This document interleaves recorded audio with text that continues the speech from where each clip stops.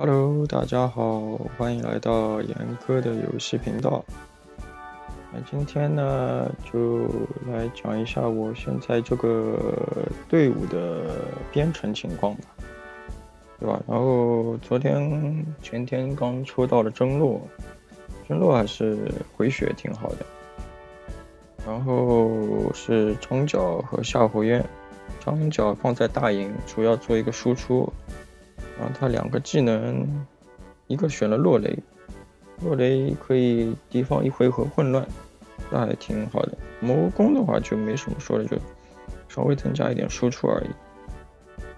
张角的输出还是可以的。然后夏侯渊的话，夏侯渊的话，他主要的话是魏齐、曹操啊、荀攸啊、郭嘉放在一起。但现在我没有这些武将的话呢，就先暂时把它放在前卫。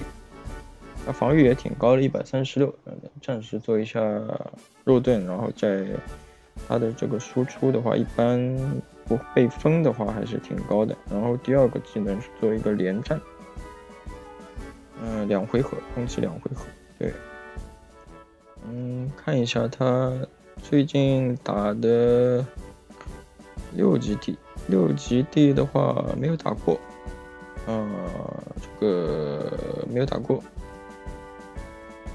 对方可能兵还是太多了点吧，我是放了两个部队进去，我是放了两个部队过去啊，也没有打过，也挺尴尬的，是吧？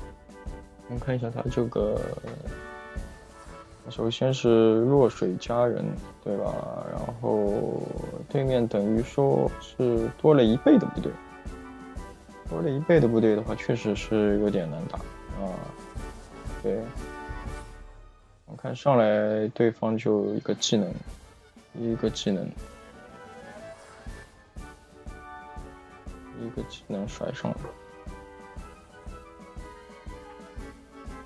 登洛的这个回血还是可以的啊。啊，曹呃张角的话做一个输出，太慢了，加一下速。整体来说的话，整体来说的话，还是兵力还是相差太多。然后张角的输出，整体来说上还是等级可能也不太够吧。